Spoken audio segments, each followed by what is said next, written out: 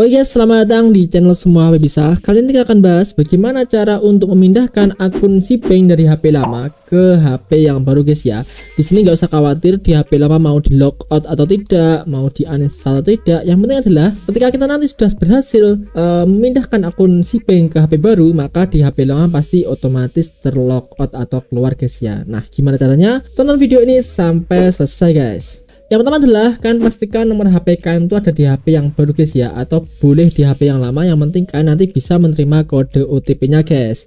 Yang kedua adalah jangan lupa username dan password guys ya nomor HP dan passwordnya. Yang ketiga adalah nanti kita diwajibkan untuk selfie guys. Jadi persiapkan wajah kalian guys ya jangan sampai uh, akun kalian tuh nggak sama dengan wajah kalian guys. Jadi kita nggak bisa login akun orang lain di HP baru kita guys. Harus menggunakan wajahnya guys ya. Wajah kita masing-masing. Oke kalau sudah di sini kita pilih saya sudah punya akun guys.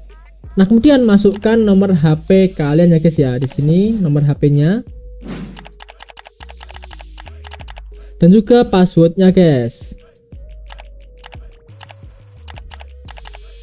Nah kalau sudah kalian langsung pilih login ya guys ya Nah, di sini kita akan menerima kode OTP SMS guys ya. Pastikan ada di nomor kalian guys, di HP kalian guys nomornya. Nah, ini adalah kode OTP-nya. Kita bisa salin kode OTP ini guys ya. 372574. 372574. Nah, di sini guys, jangan lupa kode OTP ini jangan dibagikan ke orang lain guys ketika kalian login guys ya karena nanti akun kalian akan terhack ya guys ya. Dan kode OTP ini akan berbeda-beda setiap kali kalian mau login di HP yang baru guys. Oke kita ketik. Nah kalau sudah nanti akan otomatis langsung masuk ke HP yang baru guys ya. Di sini udah bener uh, nama saya dan nomor rekening saya guys. Kita lihat akun saya. Ini sudah bener guys dan saldo saya juga tetap ya guys ya. Di sini kita pilih aktifkan sidik jari guys agar nanti di lain waktu kita langsung login menggunakan jari di HP yang baru guys. Masukkan pinnya. Kalau sudah kita login sidik jarinya guys.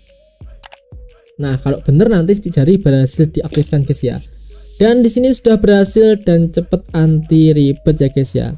Oke sekian video kali ini. Semoga bermanfaat. Jangan lupa klik like comment dan subscribe. Dan jangan lupa klik tombol lonceng supaya nggak ketinggalan video berikutnya. Terima kasih